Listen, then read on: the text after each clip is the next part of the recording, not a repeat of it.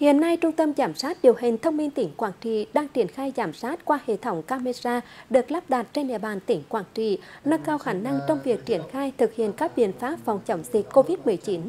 Đồng thời, Ủy ban nhân dân tỉnh Quảng Trị đã ban hành công điện số 02 ngày 11 tháng 5 năm 2021 về việc áp dụng thực hiện các biện pháp cấp bách trong phòng chống dịch COVID-19 tại địa bàn tỉnh Quảng Trị tạm dừng hoạt động sự kiện tập trung đông người, các dịch vụ kinh doanh tại chỗ đối với quán cà phê, giải khát, nhà hàng, quán nhậu, quán ăn sáng, cho phép thực hiện hình thức bán cho khách hàng mang về. Mỗi người dân cần nâng cao ý thức trách nhiệm tham gia phòng chống dịch, khai báo y tế và không tụ tập nơi đông người.